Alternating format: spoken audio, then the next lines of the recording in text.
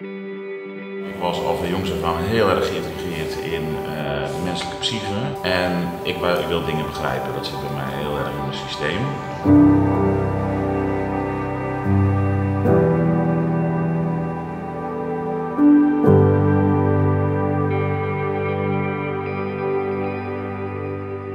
Aanvankelijk wou ik sportarts worden, maar al heel snel kwam ik in de opleiding er ook wel achter dat uh, psychiatrie tijd mij te dat het meest boeide. En naarmate de opleiding vorderde en vorderde, kwam ik er ook wel steeds meer achter dat dat ook vooral weer kwam door wat ik al op mijn 17e, 18e vond van de menselijke psyche.